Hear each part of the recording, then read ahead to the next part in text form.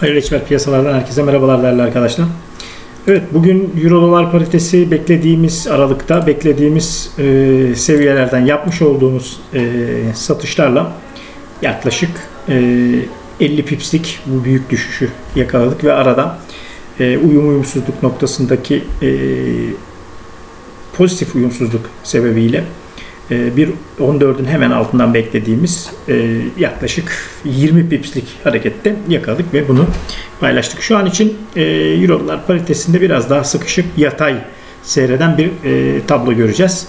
Bundan sonraki dakikalarda, ilerleyen dakikalarda görmüş olduğumuz herhangi bir gelişme olacak olursa bunu da paylaşacağız. Gördüğünüz gibi tablomuzda dirençler kırıldıktan sonraki destek bölgeleri ve alış bölgesi olarak yaklaşık 50 pipslik düşükten düşüşten sonraki e, satış verdiğimiz noktadan itibaren destek bölgesini çalıştığını net olarak görüyorsunuz ve şu an için e, söyleyecekleriniz bu kadar. Herkese bol kazançlar.